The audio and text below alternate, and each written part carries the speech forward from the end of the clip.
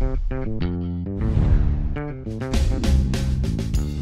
know, deep diving crankbait fishing is something that I've I've done for a long time. I really, really enjoy it, and there's a lot of a lot to it. You know, it's not just throwing out and, and reeling that bait back in.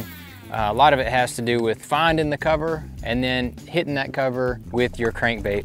I've got the Spro Little John DD, and when I'm fishing this deep diving crankbait, you know, I like to stop it and hesitate it once I hit that cover. And the one unique aspect about this Little John DD is that when I stop the bait and feed it a little bit of slack, like if I'm reeling along just like this right here, and I stop and then put point my rod to the bait and then it'll do a 180 and uh, man that triggers a bunch of strikes especially right after you dig it on the bottom or you hit a piece of brush or you hit a stick.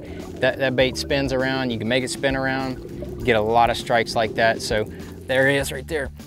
You really need to get the uh, bait into the cover like I just tipped that tree just hit that tree and, uh, and then I felt that one hit it. So uh, that's exactly what I'm talking about. You got to hit the cover and uh, not be afraid to, uh, to get hung up a few times because that's just what happens. But sometimes this happens.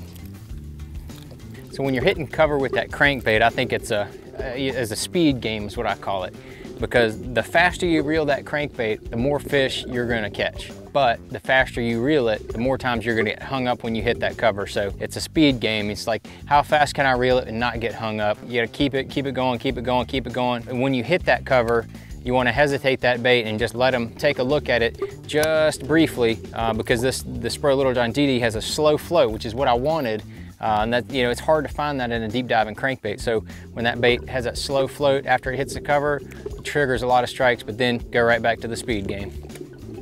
And you wanna make sure you have the right equipment when you come out deep diving crankbait fishing. Uh, you know, you hear people talking about having a crankbait rod. Now, a deep diving crankbait rod is, is a long I like at least a seven and a half to, to eight foot rod. This is a seven foot 10 inch. It's designed specifically for deep diving crankbaits. I mean, this bait weighs almost an ounce. So you're making a super long cast, but you, you wanna have a little backbone to it, but you also wanna have that soft tip like that right there. You can see it's got, a, it's got kind of a soft tip. Uh, that allows the fish, when they eat the bait, to be able to, to inhale it because they don't, they don't come up to it and mouth it.